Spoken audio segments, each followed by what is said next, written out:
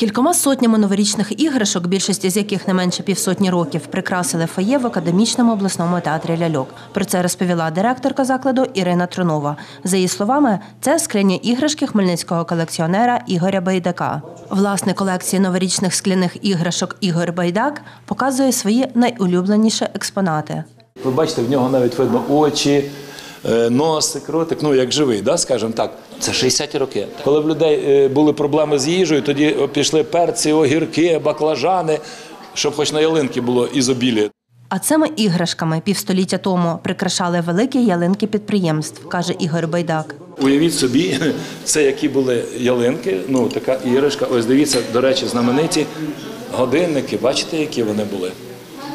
От. І зверніть увагу е, на них рівно 12 годин, да? бо всі ті пізніші годинники на них вже без п'яти були. Ігор Байдак розповідає, що частина іграшок з його домашньої колекції, але більшу частину він придбав чи прийняв у подарунок. Оце знамениті львівські трамвайчики, наприклад, їдуть. Да?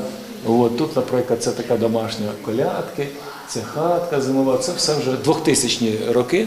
Тому ви розумієте, діапазон між ними да, приблизно е, 70 років між найстаршими і наймолодшими. Найстарша іграшка це кінець 40-х років, більша частина це 60-ті роки і початок 70-х років. І є декілька абсолютно нових, таких вже брендових сучасних речей, до речі, українських заводів. Директорка академічного обласного театру ляльок Ірина Тронова розповідає, що виставку новорічних іграшок відкрили 6 грудня.